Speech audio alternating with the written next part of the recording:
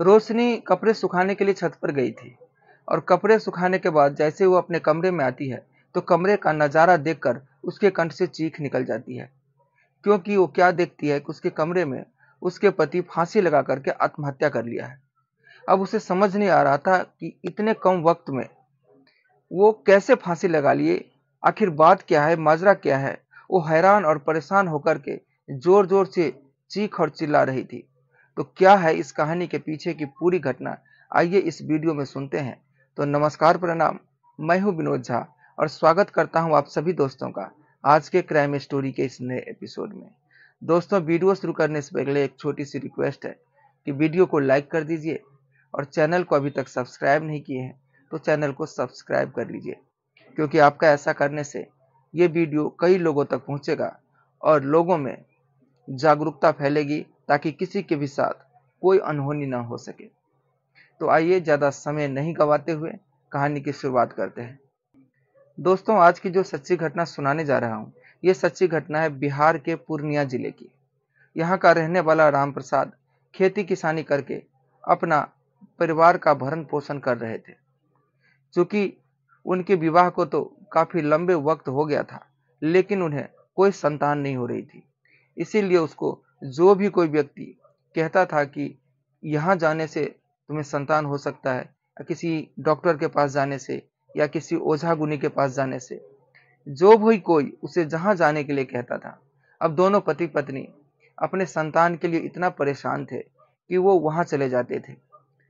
अब ये मेहनत उसकी एक दिन रंग लाती है। उसके घर में एक बेटे का जन्म होता है। दोनों पति पत्नी काफ़ी खुश हो जाते हैं।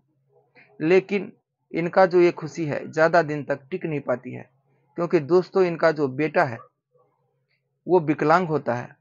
वो अपने बेटे का नाम अमन रखते हैं। अब बेटा विकलांग होते हुए भी माँ बाप के लिए, चाहे बच्चा, औलाद कैसा भी हो, वो जिगर का टुकड़ा होता है।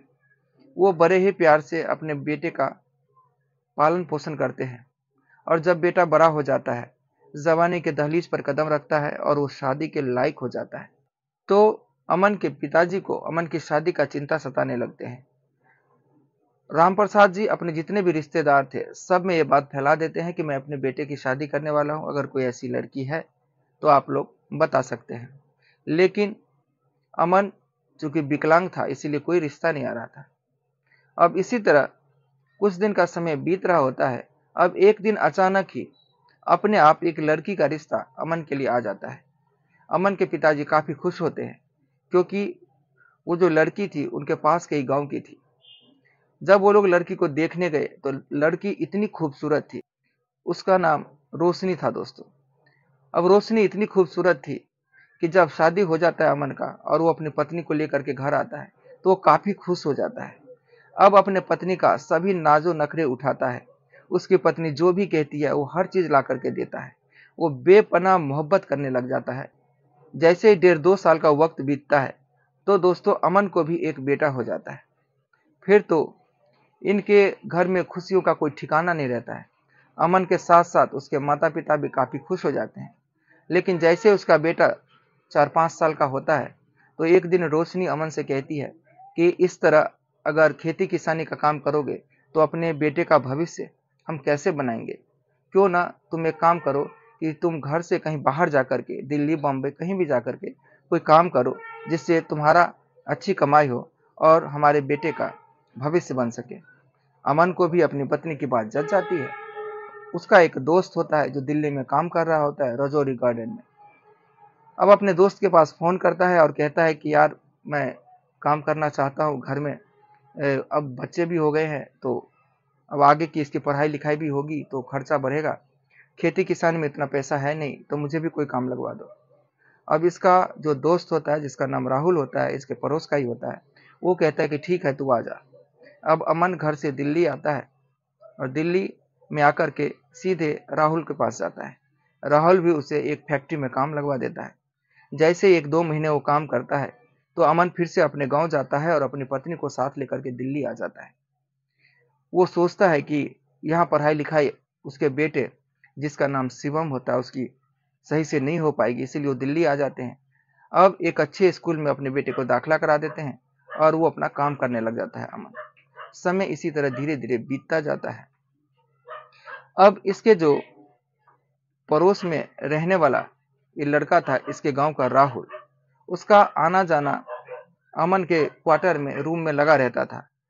और चूँकि राहुल अमन के पड़ोसी था और उससे छोटा था, इसीलिए राहुल अमन की बीवी को, यानी रोशनी को भाभी भाभी कहता था। और इस भाभी और देवर के रिश्ते के नाते वो कभी कभी अपनी भाभी से मज़ाक भी कर लिया करता था। और उसकी भाभी भी उसके साथ हँसी मज़ाक कर लिया करती थी। अब इसी तरह हँसी मज़ाक करते करते राहुल और रोशनी के बीच में प्रेम प्रसंग शुरू हो जाता है। अब प्रेम प्रसंग बहुत गहरा हो जाता है दोस्तों। अब इसी तरह एक दिन अमन अपनी ड्यूटी पर चला जाता है। तो राहुल उसके घर पर उसके पत्नी से मिलने के लिए जाता है। और जैसे ये दोनों देखते हैं कि अमन घर पर नहीं है तो ये दोनों के बीच में पहली बार रोशनी के घर में ही शारीरिक संबंध बन जाता है। और जब एक बार ये सिलसिला शुरू हो जाता है तो ये रुकने का नाम नहीं लेता है। ये वासना है ही ऐसी चीज़, दोस्तों। अब जब भी कभी मौका मिलता, अमन ड्यूटी पर चला जाता तो राहुल रोशनी इधर कमरे में आकर के खूब मौज मस्ती क्या करते थे। किसी को कानो कान कोई भनक नहीं लगी। अब एक दिन क्या होता है कि अमन की छुट्टी जल्दी हो जाती है। कंपनी से करीब चार बजे का वक्त होता है। वो चार बजे के आसपास अपने क्वार्टर पर अपने रूम में आता है और जैसे ही अपने रूम का वो नज़ारा देखता है तो उसके पैरों तले ज़मीन खिसक जाती है। वो अपनी पत्नी को और राहुल को आपत्तिजनक स्थिति में देख लेता है। वो गुस्से से पागल हो जाता है। गुस्से में आकर के वो अपनी पत्नी की बहुत पिटाई कर देता है। बुरी तरह से मारता पीटता है अपनी पत्नी को। अब जब राहुल के सामने ही उसकी पत्नी देखती है कि अमन उसको बहुत ज़्यादा मारता पीटता है तो बहुत ज़्यादा गुस्से हो जाती है। और फिर राहुल को इशारा करती है तो राहुल फ़ौरन बीच में आकर के बीच बचाव करता है। रोशनी इतने पे ही नहीं रुकती है। इतना ज़्यादा गुस्से हो जाती है कि वो राहुल को कहती है कि आज तुम इसका काम तमाम ही कर दो।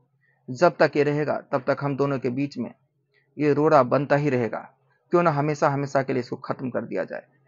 इतने में राहुल उसका हाथ पकड़ लेता है, रोशनी उसके छाती पर बैठ जाती है और ज़ोर से उसका गर्दन दबाने लग जाती है। और तब तक गर्दन दबाती रहती है जब तक उसकी मौत नहीं हो जाता है। अब जैसे ही अमन मर जाता है तो इन दोनों के तो हालत खराब हो जाते हैं, ये दोनों डर जाते हैं। आप सोचते हैं कि अब करें तो करें क्या? इसके बाद ये दोनों रोशनी की साड़ी का फंदा बना करके अमन के गले में डाल देता है और उसे पंखे से बाँध देता है। और राहुल कहता है कि अब मैं जा रहा हूँ, जैसे मैं यहाँ जाऊँगा तो तुम ज़ोर ज़ोर से चिल्लाना और लोगों को बताना कि तुम्हारा पति आत्महत्या कर लिया है। ठीक वैसे ही रोशनी करती है, कुछ कपड़े लेकर के छत पर जाती है और फिर जैसे नीचे आती है तो इतने ज़ोर से चीखने और चिल्लाने लगती है अपने कमरे में। आस पड़ोस के लोग भी इसकी चीख और पुकार सुन के जब सब लोग जमा हो जाते हैं तो जो भी इसके घर का नज़ारा देखता है, उसके पैरों तले ज़मीन खिसक जाती है। अब इन्हीं में से कोई पुलिस को फ़ोन कर देता है और पुलिस आकर के सबसे पहले अमन की डेड बॉडी का मुआयना करती है। तो साफ़ पता चलता है कि उसके गर्दन पर कुछ निशान है। इसके बाद सबसे पहले पुलिस अमन की डेड बॉडी को अपने कस्टडी में लेकर के पोस्टमार्टम के लिए भेज देती है। और इस मामले की छानबीन करना शुरू करती है। अब जैसे पोस्टमार्टम की रिपोर्ट आती है तो पुलिस भी चौंक जाती है। पोस्टमार्टम की रिपोर्ट में खुलासा आता है कि दरअसल अमन को गला दबा करके उसकी हत्या की गई है। और फ़ौरन टीम सख्ते में आती है, सबसे पहले अमन की बीवी से पूछताछ की जाती है। तो पहले तो वो इधर उधर की बात करती है, लेकिन जब पुलिस सख्ती दिखाती है तो वो टूट जाती है और उसके बाद अमन के मौत के पीछे की जो कहानी वो पुलिस को बताती है, पुलिस भी सुनकर हैरान और परेशान हो जाती है। जब पुलिस के माध्यम से ये बातें लोगों तक पहुँचती है कि एक अवैध संबंध के चक्कर में एक पत्नी अपने पति को गला दबा करके हत्या कर दिया है तो किसी को भी अपने कानों पर यकीन नहीं होता है। तो दोस्तों, मेरा ये कहानी सुनाने का मतलब किसी के भी दिल को ठेस पहुंचाना नहीं है, किसी को परेशान करना नहीं है, बल्कि समाज में जागरूकता फैलानी है। लोगों को जागरूक करना है ताकि वो जहाँ भी रहें, सुरक्षित रहें, अपना और अपनों का ख्याल रखें। तो आप लोगों का इस कहानी के बारे में क्या राय है? आप लोग अपना विचार कमेंट सेक्शन में ज़रूर दीजिएगा।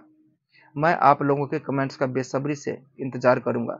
तो ये थी आज की कहानी। मिलते हैं कल किसी दूसरी कहानी के साथ। तब तक के लिए जय हिंद, जय भारत दोस्तों।